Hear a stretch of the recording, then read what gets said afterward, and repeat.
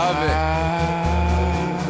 Yo, I fucking love my life. It's too fun. I was cruising one night, behind the wheel, thinking who I'm gonna pipe. 2 a.m. on a Saturday, my bitch wanna argue and fight. I ain't got time for that shit in my life, so I got on the road. Whole lot of port, so I stopped at the store. Got a pack of cigarettes and Dutchess for the dro. Was supposed to be queen, but the way this bitch tripping, man, I got the smoke. And just when I'm about to go, I bumped into this old hoe I know. You was about a year ago. I'm like, so, mom, what's the deal?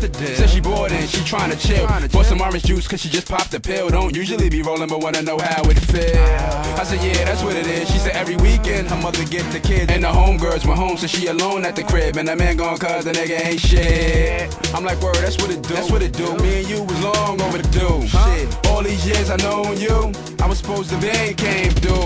The door and turned my phone off. Cause I ain't accepting no calls. Can't wait for me to break this hoe off. Can't wait to see her take her clothes off. Kissing on her neck, neck just to get her wet. Rubbing on her ass while she walking up the steps. Later in the bed, two up them legs. About to show her some shit she'll never forget. Up and down and in and out. Side to side and round and round. And other things you don't know about.